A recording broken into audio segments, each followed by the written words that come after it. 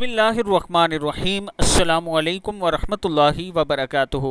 अच्छी मौत की निशानी रसूलुल्लाह सल्लल्लाहु अलैहि व वसल्लम ने फरमाया कि मौत का एक दम आना अफसोस के लायक है कि मरने वाला ना कुछ कह सका और ना कर सका।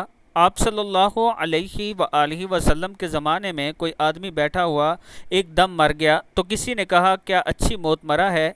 ना कोई बीमारी देखी और ना कुछ जान निकलने की तकलीफ़ हुई? तो हजूर सल्लल्लाहु अलैहि व वसल्लम को जब इसका यह कहना मालूम हुआ तो आपने इस आदमी से फरमाया कि, तेरे पास क्या सबूत है कि अचानक एक दम मरने से इसकी कोई तकलीफ़ नहीं हुई?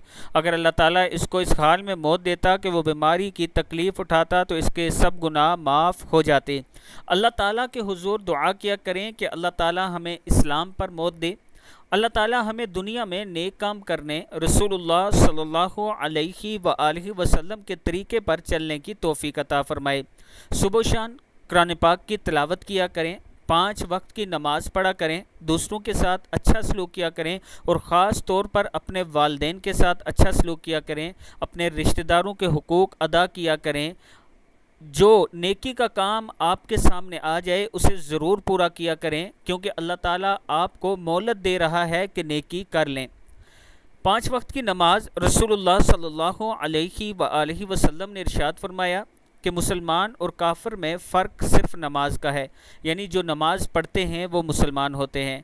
अपनी नमाज़ को कायम करें। पाँच वक्त की नमाज़ पढ़ा करें, कुरान पाक पढ़ा करें सदका खैरात ज़रूर करें। और अगर आपके वालदे आपके प्यारे इस दुनिया से चले गए हैं तो उनके लिए सदका जारिया ज़रूर किया करें। सदका जारिया जैसे मस्जिद बन रही हो, उसमें आपने उनके नाम का कुछ हिस्सा दे दिया, कुछ सदका कर दिया।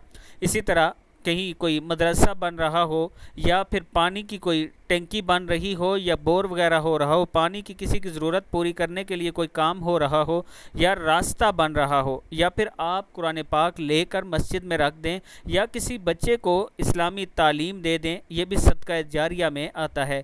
अल्लाह ताला हम सबको नेक काम करने की तोफ़ी कता फ़रमाए। अल्लाम वरहमल वर्का